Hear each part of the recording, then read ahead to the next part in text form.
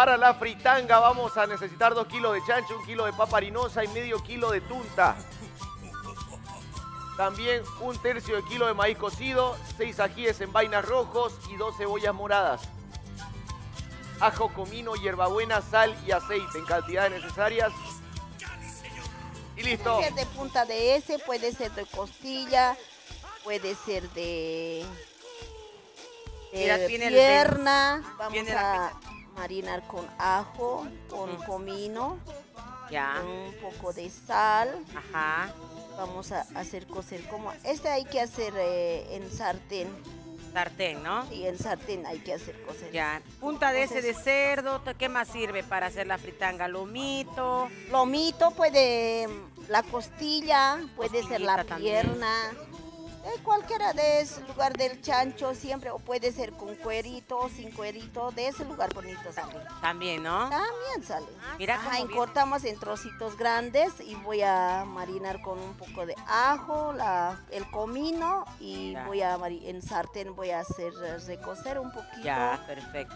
¿Cómo Luego- lo vas a marinar? ¿Vas a, el ajo lo vas a cortar chiquito, lo vas a Lo voy a machucar. machucar? Ok. ¿De ¿Cómo has hecho ese tu ajicito en vaina, Betty? Ese es el secreto. Yo siempre en ah, comidas, en los platos típicos, Ajá. siempre se maneja el ají vaina. Puede Ajá. ser el amarillo, puede ser el rojo. Ajá, En esta fritanga se maneja el ají vaina rojo. ya. Y lo que pasa es que le, lo saco las pepitas, lo hago hervir o lo remojo y luego tengo que licuar. Y ahí Ya. está purito, sin ningún colorante, nada. Nada. O sea, no Sí. importa si está hervido o solo mojado, ¿es igual? Igual, él puede hacer hervir o puede estar ah, remojando y Ya. hay que licuar, entonces Licuar. eso sí o sí. Ok. Y la hierba buena y la tunta Yes. blanca y ahí ya tenemos el mote, ya está cociendo, y la Cociendo. papa harinosa. Es muy fácil de preparar más rápido. Ahí está chanchito. Ahí está chanchito, ya estamos marinando. ¿Has Aquí puesto está algo de aceite o está en su propio juguito No, nomás? con su propio juguito. Con su propio jugo. Aquí vamos a poner salsita, Sal, quita sal, sal, y también vamos a poner ajo. ajo, sal, Ese ajo. ajito es lo que Estamos haciendo una fritanga de cerdo el día Sí, de hoy. El ajo machucado. Ya. Vamos a poner Comino. cominito. No puede faltar, ¿no? En estos el platos. comino no puede, en el chanchito más que todo no puede faltar. Ajá. Y vamos a poner la hierba buena, esta hierba Ya. buena. es ¿Por qué muy- se pone hierba buena en estas recetas? Es que esta hierbita es un aroma elegante, tiene Ajá. muy rico, delicioso. Este saca al fricasé, Ajá. al chairito, Ya. a la fritanga Ajá. y también saca a los caldos. A los caldos. Muy buena. bien. Ahí está con la hierba buena.